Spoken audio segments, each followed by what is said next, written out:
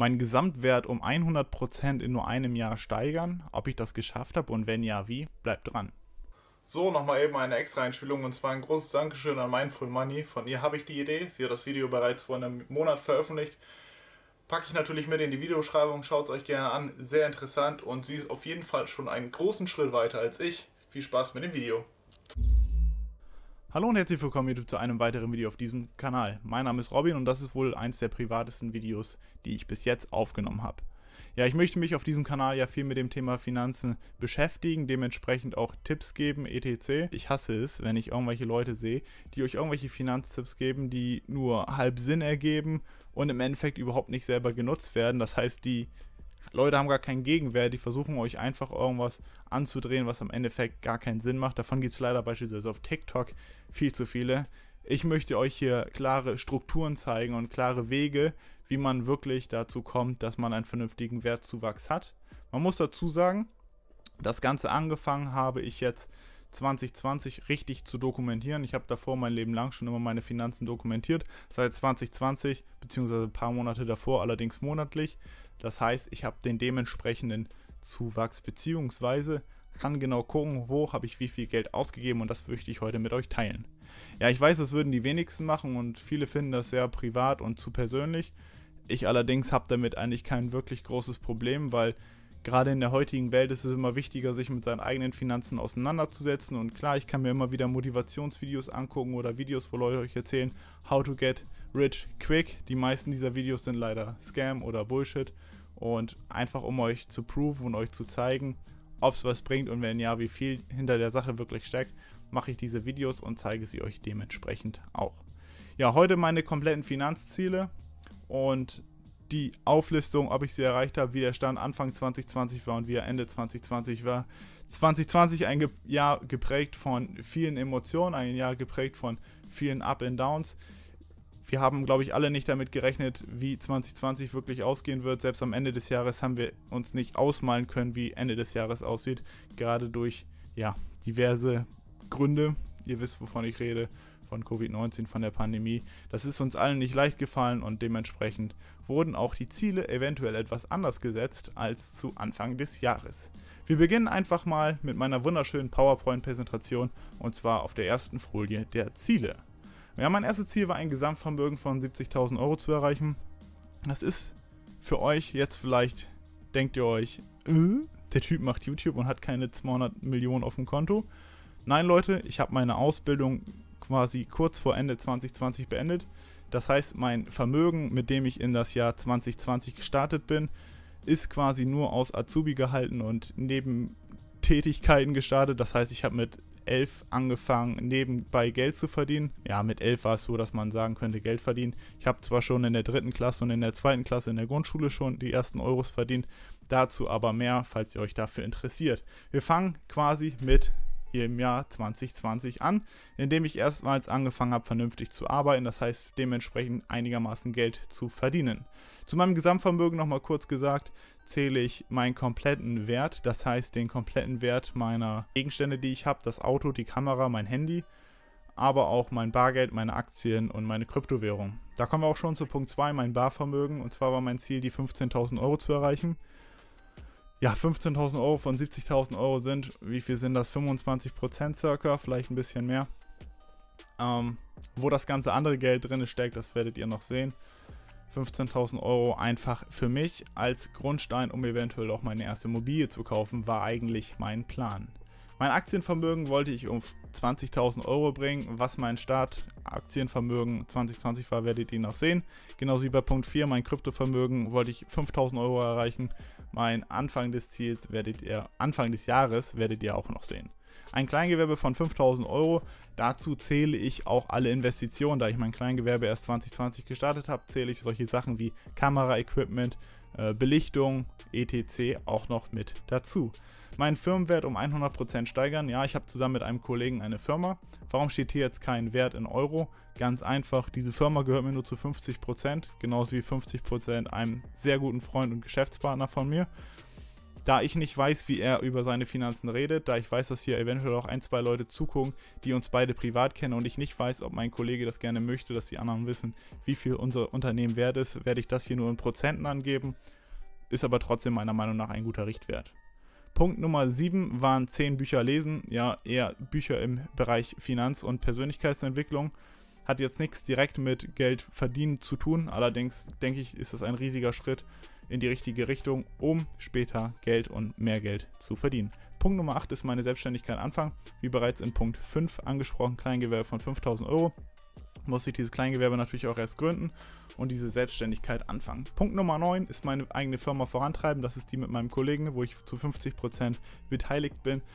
Das heißt, wir wollten neue Produkte hinzufügen und die Firma allgemein wirtschaftlich aufbessern. Und Punkt Nummer 10, ein passives Einkommen aufbauen.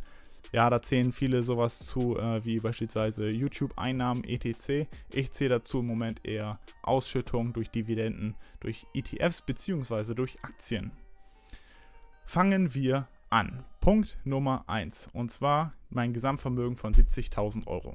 Ja, mein Start 2020 begann mit 35.000 Euro. Das heißt, mein Ziel 70.000 Euro waren eine Steigerung von 100%, dementsprechend 35.000 Euro. Mein Resultat am Ende 2020 waren 69.200 Euro. Das heißt, ich habe mein Ziel verfehlt um 800 Euro. Ja, das frustriert mich natürlich, wenn man auf der anderen Seite einen Zuwachs von 34.200 Euro in einem Jahr sieht. Ist diese Träne auf der einen Seite mit der Glücksfreude auf der anderen Seite wieder relativ ausgeglichen. Ich habe mein Ziel nicht erreicht und es frustriert mich auch. Trotzdem bin ich der Meinung, dass diese Steigerung sehr, sehr gut ist. Weitere Infos dazu werdet ihr übrigens später noch sehen. Kommen wir zur zweiten Folie und zwar mein Barvermögen von 15.000 Euro. Ja, ich habe gestartet mit 11.500 Euro und ich muss dazu sagen, zu Barvermögen zähle ich auch, wenn ich beispielsweise bei meinem Aktiendepot noch 4.000 Euro liegen habe, die bereit sind zu investieren, ist es in dem Moment immer noch für mich ein Barvermögen, weil das Ganze noch nicht investiert ist. Ja, dort hatte ich 11.500 Euro insgesamt. Mein Ziel waren 15.000 Euro, also 4.500 Euro Steigerung bzw. circa 30 Prozent. Falls ich hier übrigens Fehler bei den Angaben in der Prozentrechnung ETC mache, dann tut es mir leid, das kann passieren, ich bin auch nur ein Mensch. Mein Resultat waren 11.000 Euro, das heißt, ich habe mein Ziel um 4.000 Euro verfehlt und einen Zuwachs von minus 500 Euro. Ja, ich hatte am Ende des Jahres weniger Bargeld als am Anfang des Jahres. Warum ist es passiert? Das werdet ihr auf der nächsten Folie sehen und da springen wir jetzt mal hin. Mein Aktienvermögen von 20.000 Euro wollte ich erreichen. Das heißt, ich hatte am Anfang des Jahres 8.800 Euro und mein Ziel 2021 waren 20.000 Euro. Ja, das ist eine Differenz von 11.200 Euro bzw. 127% Steigerung. Dazu zähle ich alle Aktien sowie ETFs etc. Ja, mein Resultat waren die 24.900 Euro. Das heißt, ich habe mein Ziel erreicht und sogar noch ein Plus von 4.900 Euro mehr am Ende des Jahres gehabt als zu Anfang des Jahres geplant. Entspricht einem gesamten Zuwachs von 16.100 Euro. Wie kam das und was ist passiert? Ja, durch den Crash 2020 habe ich sehr, sehr viel meines Bargelds investiert und zwar in Aktien und ETFs. Es hat ganz einfach den Grund gehabt, die Aktien waren günstig, die Aktien sind sehr stark gefallen und buy the dip, also kauf den kaufe im fallenden Kurs, das habe ich gemacht, dort habe ich sehr viel Geld investiert. Die 16.100 Euro Zuwachs sind tatsächlich ungefähr die investierte Summe. Das heißt, ich habe im Monat über 1000 Euro investiert. Man muss dazu sagen, ich habe bei beispielsweise Wirecard einen Totalverlust von 2700 Euro. Der ist hier gar nicht mit eingerechnet. Den habe ich später durch Kursgewinne wieder gut gemacht. Man muss aber dazu sagen, ja, ich habe durch Aktien in dem Jahr auch einige tausend Euro Verlust gemacht, auch wenn ich gleichzeitig Gewinn gemacht habe. Kommen wir zu Punkt Nummer 4 und zwar mein Kryptovermögen von 5000 Euro. Mein Start 2020 waren 1700 Euro investierte Summe da, zu dem Zeitpunkt waren ca. 2500 Euro. Das heißt, ich hatte 800 Euro circa Verlust. Liegt ganz einfach daran, ja, ich habe Kryptotore gekauft, als es zu dem Zeitpunkt war. Das heißt, ich hatte zu dem Zeitpunkt einen Verlust. Mein Ziel 2021 war es, die 5000 Euro zu erreichen durch weitere Investitionen, aber auch durch Kurssteigerung, weil ich der Meinung war, der Kurs müsste jetzt eigentlich 2020 mal wieder steigen. Ja, Corona hat in die Karten gespielt, dadurch ist der Kurs weiter gestiegen und wir hatten ein Resultat von 11.200 Euro. Das heißt, wir haben das Ziel um 6.200 Euro überschritten und ein Gesamtzuwachs von ca. 9.500 Euro. Ja, von 1700 auf 11.200 ist meiner Meinung nach ein sehr guter Zuwachs. Dazu muss man sagen, das meiste des Geldes ist nicht investiert, sondern durch Wertsteigerung, das heißt durch die steigenden Kurse. Dazu später mehr. Punkt Nummer 5, mein Kleingewerbe von 5000 Euro. Ja, ich habe mein Kleingewerbe gestartet und zwar mit 0 Euro. Mein Ziel war es, 5000 Euro zu haben, beziehungsweise 5000 Euro in Wert in dem Kleingewerbe zu haben. Dazu zählen natürlich die Waren sowie Kamera und Equipment. Mein Resultat, ich habe 5.124 Euro investiert bzw. dafür ausgegeben. Das heißt, ich habe mein Ziel um 124 Euro überschritten und einen Zuwachs von 2.124 Euro. Meiner Meinung nach vollkommen in Ordnung und genau in meinem Budget. Punkt Nummer 6, mein Firmenwert um 100% steigern. Hier wie gesagt keine Zahlen, da mein Kollege da mit beteiligt ist. Mein Ziel waren es von 100%, das heißt von einem fixen Firmenwert den ganzen zu verdoppeln und 200% zu haben, also 100% Steigerung. Das heißt, wenn das Unternehmen jetzt 20.000 Euro wert war, wollte ich das Jahr darauf für 40.000 Euro wert ist. Das habe ich nicht erreicht und zwar haben wir unser Ziel um 63% verfehlt. Das heißt, wir hatten einen Wertzuwachs des Unternehmens von 37%, immer noch ein Plus, allerdings deutlich weniger als wir wollten. Wie es dazu kam, auch nochmal später mehr. Punkt Nummer 7 waren 10 Bücher lesen. Ja, das habe ich geschafft, mehr oder weniger. Dazu waren die meisten Wissensbücher oder Bücher, die sich in dem Bereich Finanzen oder Persönlichkeitsentwicklung befassen. Um, ähm, das Buch vom Junkie zum YouTuber von Montana Black war so ein kleiner Ausreißer, fand ich aber auch sehr interessant und ich bin der Meinung, dass man durch dieses Buch auch einiges für die Zukunft lernen kann. Die Bücher darüber, absolute Klasse. Ich habe, glaube ich, kein, kein Buch davon, wovon ich es bereue, es gelesen zu haben. Ich habe auch nicht alle Bücher in Anführungsstrichen gelesen. Einige habe ich mir als Podcast angehört. Ihr könnt gerne mal Zero to One beispielsweise bei Spotify eingeben. Dort könnt ihr euch das komplette Buch runterladen, ebenso wie das Buch von Elon Musk. Einfach runterladen und während der Autofahrt oder während der Bahnfahrt hören. So verschwendet ihr in Anführungsstrichen keine Zwei Zeit, weil ihr die Autofahrt bzw. die Bahnfahrt sinnvoll nutzt. So habe ich beispielsweise einen Arbeitsweg von zweimal 30 Minuten am Tag. Wenn ich nun hin und zurück fahre, das heißt, ich habe am Tag quasi eine Stunde, in der ich einfach nur im Auto sitze und aus dem Fenster gucke. Wenn ich diese Stunde am Tag nutze, um in Anführungsstrichen mir vorzulesen, beziehungsweise dass mir vorgelesen wird, so nutze ich quasi diese Stunde meiner Meinung nach absolut sinnvoll. Punkt Nummer 8, meine Selbstständigkeit anfangen. Ja, ich habe am 25.04.2020 meine Selbstständigkeit gegründet bzw. angemeldet, habe mir dementsprechend Kamera und Ausrüstung gekauft und meine ersten Waren im Wert von ca. 2700 Euro gekauft. Ich hatte auch schon einige Verkäufe im Gesamtwert von 809 Euro. Das Ganze ist natürlich Umsatz, das heißt, da kommen noch Gebühren, etc. werden davon noch abgezogen. Was ich am Gewinn im Ende des Jahres hatte, das ist eigentlich nicht der Rede wert. Und das Ganze wurde auch wieder reinvestiert. Also ist da nichts wirklich von übergeblieben. Ich habe trotzdem es geschafft, meine Selbstständigkeit zu gründen und mein Gewerbe anzumelden. Punkt Nummer 9, die Firma vorantreiben. Ja, das hat leider nicht so gut geklappt. Ihr habt ja gesehen, dass wir nur eine Steigerung von 37% hatten. Wie kam es dazu? Ja, wir hatten ein Produkt, was innerhalb von sechs Wochen oder sieben Wochen komplett out of stock gegangen ist. Das heißt, wir haben ein Produkt deutlich schneller verkauft, als wir es geplant und gedacht hatten. Das ist der, auf der einen Seite natürlich etwas sehr Gutes. Auf der anderen Seite ist durch die Covid-19-Situation äh, ein es schwierig geworden oder schwieriger geworden in China zu bestellen. Des Weiteren sind die Preise extrem gestiegen, sodass der Preis für den Nachkauf ein zu hohes Risiko für unser Gesamtunternehmen gewesen wäre. Also beispielsweise unser Unternehmen, nur jetzt als Beispiel, ist 50.000 Euro wert. Wir haben davon das meiste investiert, einmal 30.000 Euro in Waren und 20.000 Euro in Cash zur Verfügung. Jetzt wollen wir eine Ware nachbestellen, allerdings müssen wir dafür mindestens 15.000 Euro opfern. Das könnten wir zwar machen und hätten dann noch 5.000 Euro auf unserem Firmenkonto. Sowas machen wir allerdings nicht, weil uns das Risiko einfach zu groß ist, dass durch irgendwelche Probleme, Steuernachzahlung etc. auf einmal 5000 Euro oder mehr gebraucht werden und unser Konto somit ins Null fällt. Dann bringt uns zwar die dann bringen uns auch die Waren im Wert von vielleicht 30.000, 40.000 Euro nichts, weil das Finanzamt möchte mit Sicherheit nicht an dem Unternehmen beteiligt werden, beziehungsweise möchte es mit Sicherheit nicht in Waren bezahlt werden. Das heißt, unser Risiko war in dem Moment so groß, als dass wir es nachkaufen konnten. Des Weiteren betrugen die Lieferzeiten mehrere Monate Und unsere Anzeige, die sich sehr gut hat verkaufen lassen, ist in dem Moment schon wieder komplett unten gelistet gewesen. Das heißt, wir hätten schon fast wieder von Null angefangen mit diesem Produkt, was für uns wirtschaftlich leider keinen Sinn ergeben hat in dem Moment. Punkt Nummer 10, ein passives Einkommen aufbauen. Ja, ich habe ca. 500 Euro durch Dividenden eingenommen. Ähm, viel mehr ist da auch nicht bei rumgekommen. Dividenden, ganz kurz, du kaufst eine Aktie, hast einen bestimmten Prozentanteil an dem Unternehmen. Das Unternehmen macht beispielsweise 100 Millionen Euro Gewinn, nimmt von diesen 100 Millionen Euro 50 Millionen und packt das aufs Firmenkonto und 50 Millionen teilen die auf unter den Aktionären und schütten das dann quasi als Dividende wieder aus. Falls ihr mal mehr dazu hören oder wissen wollt, dann schreibt es mir gerne in die Kommentare, dann mache ich dazu nochmal ein extra Video. Weitere Dividenden in 2021 werden auf jeden Fall noch folgen, beziehungsweise weitere passive Einkommensströme. Falls ihr dazu ein extra Video wollt, schreibt es mir gerne in die Kommentare.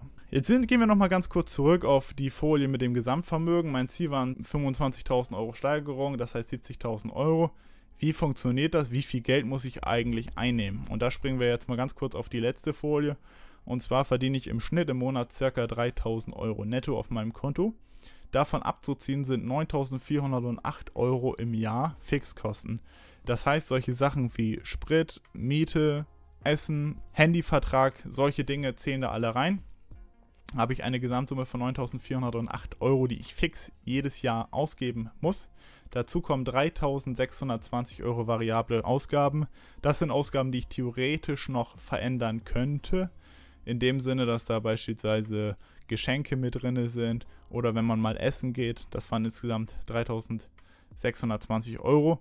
Dadurch, dass wir Covid-19 vor der Haustür hatten und nicht in den Urlaub fahren konnten, ist diese Summe noch relativ gering. Ich denke, hätte man etwas mehr unternehmen können, wäre diese Summe größer gewesen.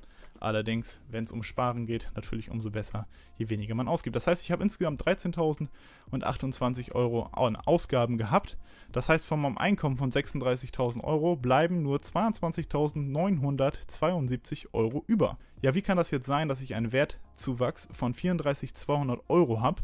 Wenn ich nur 22.972 Euro über habe von meinem Gesamteinkommen, den 36.000 Euro. Ja, die Differenz daraus entspricht 11.228 Euro bzw. circa 32 Prozent. Diese 32 Prozent sind quasi auf mein Startgeld, also die 35.000, am Anfang von 2020 gerechnet. Ja, das Ganze habe ich erreicht durch steigende Kurse. Ich habe in dem Jahr vieles verloren. Beispielsweise durch Wirecard waren das knappe 3000 Euro, die ich auf einen Schlag verloren habe. Ich habe auch beispielsweise mit vielen tausend Euro in Shell investiert, die danach extrem gefallen sind. Dort habe ich auch ein paar tausend Euro verloren. Ja, trotz der ganzen Verluste habe ich es geschafft, 11.228 Euro mehr Zuwachs zu haben, als es theoretisch in Anführungsstrichen möglich ist, wenn man einfach mein Einkommen minus meine Ausgaben rechnet. Diese 11.228 sind wie gesagt Wertzuwachs. Das heißt, es ist eine Steigerung von diversen Klassen, wie beispielsweise meinen Aktien oder meiner Kryptowährung. Dementsprechend sind das natürlich keine realisierten Gewinne. Das heißt, es könnte auch sein, dass der ganze Aktienmarkt crasht oder dass die kompletten Kryptowährungen crashen. Das heißt, meine investierten Euros Beispielsweise die 11.000 Euro, die ich gerade an Wert in Kryptowährung zum Zeitpunkt des Jahreswechsels habe, die könnten auch am nächsten Tag komplett weg sein, wenn Kryptowährungen komplett einbrechen. Auf der anderen Seite hätte ich ohne Kryptowährung und ohne Aktien diese 32% niemals erreicht. Das heißt, hätte ich nichts investiert, hätte ich am Ende des Jahres nur knapp 23.000 Euro plus gehabt. Dadurch, dass ich investiert habe, habe ich 34.000 Euro plus also 11.000 Euro dank meinen Investitionen. Ja, das war's mit diesem Video. Ich hoffe, es hat euch gefallen. Falls ihr meine Ziele für 2021 wissen wollt und falls euch dieses Video gefallen hat, schreibt es mir gerne in die Kommentare. Ich freue mich auf jeden Fall drauf. Ich bin gespannt, was ihr dazu sagt und ich würde sagen, investiert bedacht, investiert vorsichtig und passt auf euch auf. Bleibt gesund. Ich würde sagen, wir sehen uns im nächsten Video. Bis dahin, ciao Freunde.